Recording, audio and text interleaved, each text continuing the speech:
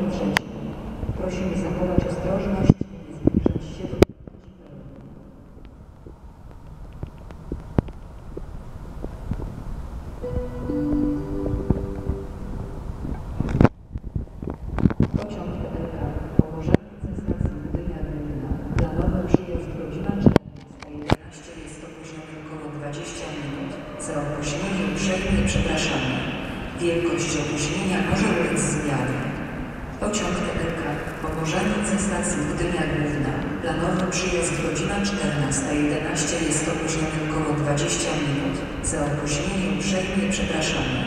Wielkość opóźnienia może ulec zmianie.